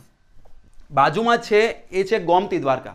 ગોમતી દ્વારકા એટલે શું? તો ભગવાન શ્રી કૃષ્ણ એક તળાવ બંધાયું હતું, ગોમતી તળાવ. અને ગોમતી તળાવની બાજુમાં જ એક નગરી વસી ગઈ, વસાઈ, વસી ગઈ, જેને નામ આપવામાં આવ્યું છે ગોમતી દ્વારકા. શું નામ આપવામાં આવ્યું છે? ગોમતી દ્વારકા. ત્યાં જ એક મઠ આવેલો છે, શારદા મઠ. શારદા મઠ છે કોણે બનાવેલો છે? તો કે શંકરાચાર્ય જગતગુરુ શંકરાચાર્ય દ્વારા શારદા મઠ છે બનાવવામાં આવ્યો છે. ચારે ચાર મઠ તમને ખ્યાલ હોવા જોઈએ. પૂર્વ, પશ્ચિમ, ઉત્તર, દક્ષિણ. આ ચારે ચાર મઠ છે તમને ખબર હોવો જોઈએ. પૂર્વની અંદર કયો મઠ આવશે? તો કે પૂર્વની અંદર મઠ આવશે ગોવર્ધન. કયો આવશે? ગોવર્ધન. પશ્ચિમમાં કયો મઠ આવશે? તો કે પશ્ચિમમાં મઠ આવશે શારદા મઠ. ઉત્તરમાં કયો મઠ આવશે? તો કે જ્યોતિર્મઠ અને દક્ષિણમાં કયો મઠ આવશે? તો કે શૃંગેરી. કયો મઠ આવશે? શૃંગેરી મઠ આવશે. ગોવર્ધન મઠ છે કઈ જગ્યાએ છે? તો કે ઓરિસ્સા. કઈ જગ્યાએ છે? ઓરિસ્સા. કઈ જગ્યાએ ઓરિસ્સામાં? તો કે જગન્નાથપુરી ખાતે. કઈ જગ્યા છે? જગન્નાથપુરી ખાતે. પશ્ચિમમાં કઈ જગ્યાએ? તો કે ગુજરાત. ને ગુજરાતમાં કઈ જગ્યાએ? તો કે દ્વારકા ખાતે. કઈ જગ્યાએ છે? દ્વારકા ખાતે છે. ઉત્તરમાં જ્યોતિર્મઠ છે. જ્યોતિર્મઠ કઈ જગ્યાએ? તો કે ઉત્તરાખંડમાં. ઉત્તરાખંડમાં કઈ જગ્યાએ? તો કે ઉત્તરાખંડ છે, ઉત્તરાખંડમાં બદ્રીનાથ ખાતે. કઈ જગ્યાએ છે? બદ્રીનાથ ખાતે. જ્યોતિર્મઠ છે ને જોશી મઠ તરીકે પણ ઓળખવામાં આવે છે. શૃંગેરી કઈ જગ્યાએ છે? તો કે શૃંગેરી મઠ છે, એ કર્ણાટક ખાતે છે. અને કર્ણાટકમાં કઈ જગ્યાએ છે? તો કે કર્ણાટકમાં શૃંગેરી નામનું સ્થળ છે. શૃંગેરી નામના સ્થળે જ. શારદા મઠ છે એ આવેલો છે. શૃંગેરી નામના સ્થળે શારદા મઠ છે આવેલો છે. ક્લિયર થાય છે વસ્તુ? આ ઉપરાંત ત્યાં બાજુમાં જ એક હનુમાન મંદિર આવેલું છે. આ હનુમાન મંદિર છે કયા ઘાટ ઉપર છે? તો કે વાસુદેવ ઘાટ છે. બાજુમાં એક વાસુદેવ ઘાટ છે ને વાસુદેવ ઘાટ ઉપર એક મંદિર આવેલું છે જેનું નામ છે હનુમાન મંદિર. વાસુદેવ ઘાટથી આગળ વધો એટલે બીજો એક ઘાટ આવશે એનું નામ છે સંગમ ઘાટ. કયો ઘાટ છે? સંગમ ઘાટ. આ સંગમ ઘાટ ઉપર જે મંદિર છે એ મંદિરનું નામ છે સંગમ નારાયણનું મંદિર. પ્રશ્ન પૂછાય કે સંગમ નારાયણનું મંદિર કયા જિલ્લામાં છે? દ્વારકા. કયા ઘાટ ઉપર છે? સંગમ ઘાટ. વાસુદેવ ઘાટ ક્યાં આવેલો છે તો દ્વારકા. વાસુદેવ ઘાટ ઉપર કયું મંદિર છે તો હનુમાન મંદિર. આ ઉપરાંત હનુમાન મંદિરથી આગળ વધો એટલે ફરીવાર ત્યાં એક બેટ બનાવવામાં આવ્યો છે જેને ચક્રતીર્થ તરીકે ઓળખવામાં આવે છે. કયા નામે ઓળખવામાં આવે છે? ચક્રતીર્થ. પ્રશ્ન પૂછાય, યાદ રાખજો, ચક્રતીર્થ ક્યાં આવેલું છે? દ્વારકા ખાતે આવેલું છે. ચક્રતીર્થની બાજુમાં આવો એક કુંડ આવશે, જેનું નામ છે કૈલાસ કુંડ. કયો કુંડ છે? કૈલાસ કુંડ છે. આ જે કૈલાસ કુંડ છે, એ કૈલાસ કુંડની અંદર ગુલાબી પાણી જોવા મળે છે. કયું પાણી, કેવું પાણી જોવા મળે છે? ગુલાબી પાણી. ગુલાબી પાણી ધરાવતો કુંડ કયો છે? કૈલાસ કુંડ. ગુલાબી પાણી ધરાવતો કુંડ કયો છે? તો કૈલાસ કુંડ આવશે. આ કૈલાસ કુંડ ગુલાબી પાણી છે, કૈલાસ કુંડ છે, એની બાજુમાં જ આવો એટલે તરત ને તરત એક મંદિર આવશે, જય વિજય મંદિર. આ જે કૈલાસ કુંડ છે ને, કૈલાસ કુંડ તમે ફરો ને, એટલે તમને સીધો દ્વારકાનો પૂર્વનો દરવાજો જોવા મળે. કયો દરવાજો જોવા મળે? દ્વારકાનો પૂર્વનો દરવાજો છે એ જોવા મળે. અને દ્વારકાનો પૂર્વનો દરવાજો જોવા મળે છે એવું કહેવામાં આવે છે કે જય અને વિજય નામના રખેવાળ છે, એ દ્વારકાની રખેવાળી કરતા. અને એની એટલી બધી ઈમાનદારી હતી કે એના ઉપરથી એટલે નાની ન્યાન્યા તુર્કોના આક્રમણમાં શહીદ થઈ ગયા હતા. અને તુર્કોના આક્રમણમાં શહીદ થઈ ગયા એટલે ત્યાં ત્યાંનું મંદિર બનાવવામાં આવ્યું, જેને જય વિજયનું મંદિર કહેવામાં આવે છે. પ્રશ્ન પૂછાઈ જાય કે જય વિજયનું મંદિર કઈ જગ્યાએ આવેલું છે? તો જય વિજયનું મંદિર છે એ કઈ જગ્યાએ આવેલું છે? દ્વારકા ખાતે આવેલું છે. આ ઉપરાંત ત્યાં બેટ દ્વારકા પણ આવેલું છે. એવું કહેવાય છે કે દ્વારકા ફર્યા અને બેટ દ્વારકા ન ગયા તો તમારી દ્વારકાની જાત્રા પૂર્ણ કરી કહેવાય નહીં. એ બેટ દ્વારકા છે. બેટ દ્વારકા ખાતે પાંચ મંદિર આવેલા છે. કયા કયા પાંચ મંદિર છે? તો કે શ્રી કૃષ્ણનું મંદિર છે, રૂકમણી મંદિર છે, રાધા મંદિર છે, સત્યભામા મંદિર છે અને જાંબુવંદી જાંબુવંદી મંદિર છે. કયું મંદિર છે? જાંબુવંદી મંદિર છે. શ્રી કૃષ્ણ, રૂકમણી, રાધા, સત્યભામા અને જાંબુવંદનું મંદિર છે. એ કઈ જગ્યાએ આવેલું છે? તો કે બેટ દ્વારકા ખાતે આવેલું છે. કઈ જગ્યાએ આવેલું છે? બેટ દ્વારકા ખાતે આવેલું છે. તો આટલા મંદિરોમાં, આટલી વસ્તુમાં તમને ખ્યાલ પડી ગયો હોવો જોઈએ. એકદમ પરફેક્ટ વસ્તુ ખબર પડી ગઈ હોવી જોઈએ. આટલા મંદિરની આપણે ચર્ચા કરી. હવે જેમ જેમ આગળ જતા જશું, એમ એમ. હવે આપણે આગળના લેક્ચરની સૌરાષ્ટ્રના મંદિરો છે, સૌરાષ્ટ્રના મંદિર પૂર્ણ કરશું અને એની પછીના લેક્ચરમાં તળ ગુજરાતના મંદિર છે ને પૂર્ણ કરશું. તો મિત્રો, આજના દિવસ પૂરતું આટલું રાખશું. જય હિન્દ, જય ભારત.